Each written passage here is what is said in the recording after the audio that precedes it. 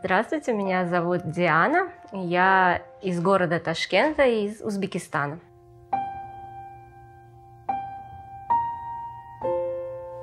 Я занимаюсь э, подростками, девочками, которым от 13 до 15 лет.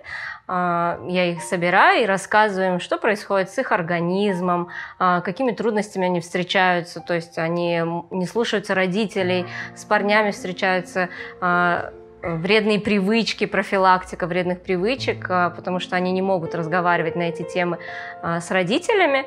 А я им открываю, ну вот, говорю, как правильно, рассказываю, как что делать с этим как не нужно делать и как нужно делать. Да, они все неверующие, и очень хороший отклик, им очень нравится, и они прям хотят, хотят ходить еще больше.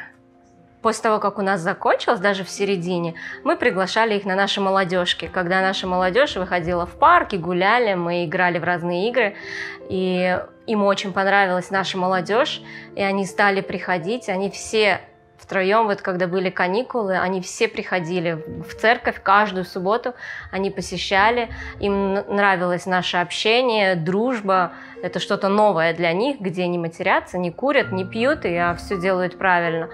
А одна из девочек, даже вот сейчас учебное время, она все равно прибегает, остальные ходят только на каникулах, а она все равно хотя бы на молодежке, она все посещает, она звонит и говорит, ну, э, мне говорите, куда вы будете ходить, что у вас будет происходить.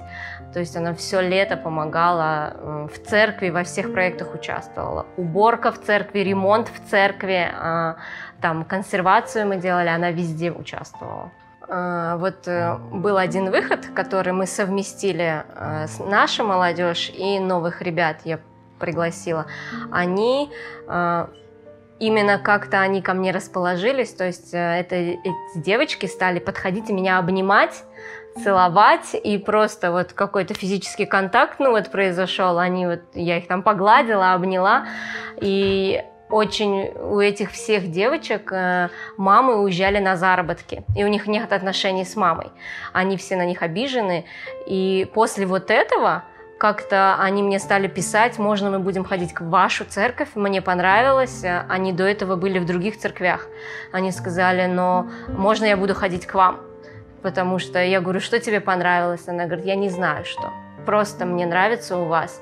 И она постоянно звонит, приходит, то есть э, я говорю, она всегда по возможности. Она даже мама ей запретила ходить в церковь, потому что а, оценки испортила.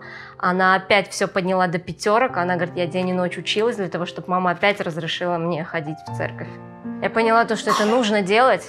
А, и сейчас я второй выпуск, ну как бы «Очаровательная девушка 2», а, для новых девочек, и мне пишут уже взрослые. То есть 18-летние девочки, они пишут, и они говорят, мы хотим. Я понимаю, что в этом есть нужда, и это вдохновляет на то, чтобы делать что-то новое. И, конечно, хочется уже другой формат. Хочется выходить. До этого у нас встречи были дома, такая неформальная обстановка, но сейчас я думаю, то, что можно даже это выходить в кафе, общаться и чуть-чуть другой уровень, чтобы был чувство, ну, приятно, что ты делаешь что-то хорошее, что от тебя есть какая-то польза.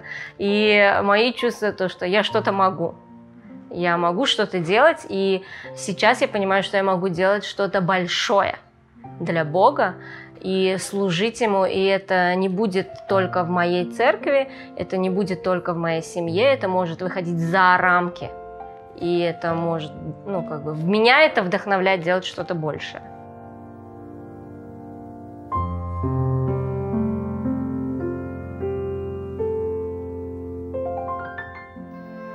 А сейчас давайте объединимся в молитве и помолимся о служении, которое совершается на территории Центральной Азии, и попросим Бога даровать нам силу для совершения нашей миссии.